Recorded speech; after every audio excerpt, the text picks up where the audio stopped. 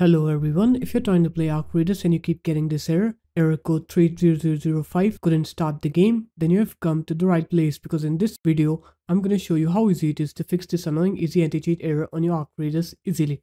So first off, what you're going to do is you're going to open up your start menu, you're going to write here command prompt, you're going to run command prompt as administrator, click yes, and then you're going to put this command in. I'm going to put this command into the description of the video and after that you're going to put this command in. And after you're done putting both of these commands in then you're going to put this command in.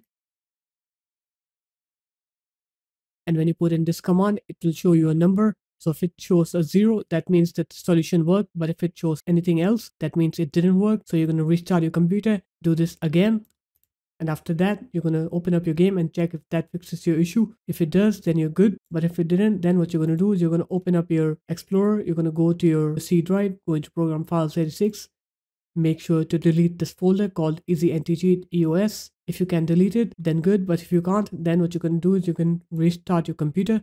And once you're done with the restart just come here straight and just delete this folder. Don't open anything else.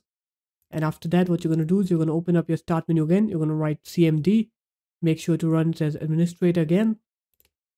You're going to put this command in now. And after that you're going to put this command in. And once you're done putting both of these commands in then you're going to go ahead and restart your computer. And once you're done with the restart now you're going to open up arc raiders on your computer and it will reinstall easy anti-cheat on your computer.